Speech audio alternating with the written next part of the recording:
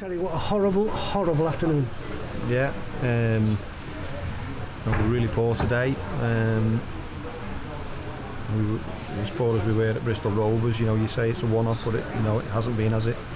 Um, saying that, I thought Longy um, could have scored first. With a, he's gone to, it was a great cross by Feeney, and um, he's elected to go with his foot. Should have been ahead. Should have been a diving header. Um, Longy's had his shot towards the end of the first half. Um, Nya's had his little turn and shot at the end. Um, Armand's dragged one past the post. I think the stats, I've just seen some of the stats are pretty equal, but you know, stats aren't always correct, are they? Uh, ben Heneghan had a looked like he was going to head a corner and missed it. And then we just weren't good enough today. I thought their third goal, you know, um, the corner leading to it was a goal kick, although we got ourselves into a pickle. And um, and as I say today, you know, it just wasn't good enough.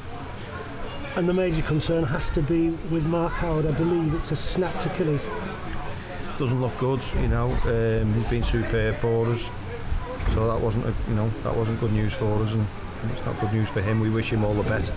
Uh, obviously, it was a miss for us after that, and then, you know, we'll probably, you know, if, if that is the case and that's what he's done, you know, we'll w- wish him well in his recovery. And um, but yeah, he, he'd miss the rest of the season. I would have thought. Where does that leave you in the goalkeeping position? Does the emergency rule apply? Can you get somebody in? I have to have to do a bit of work on that now and find out. Um, so obviously Myles, the, the homegrown player on the bench, and uh, and Chris has gone away with the, the DR Congo. So um, we'll have to see what we can do for next Saturday. And you had to feel for Myles, who came up with a, a big error early on into the game. Yeah, um, his league debut, and um, he's a great kid, and you know he's just made a mistake. I think he's, he's I think he's thinking, what am I going to do with it now? I'm going to I'm going to bowl it out to fiends, or I'm going to start an attack, and you know, lost the flight of it and uh, but he's a great kid and he's made a mistake and he's held his hand up and um, but you know I think to be fair there's a few of them held their hand up in the in the dressing room. They know it's not good enough. It's not us. It's not acceptable.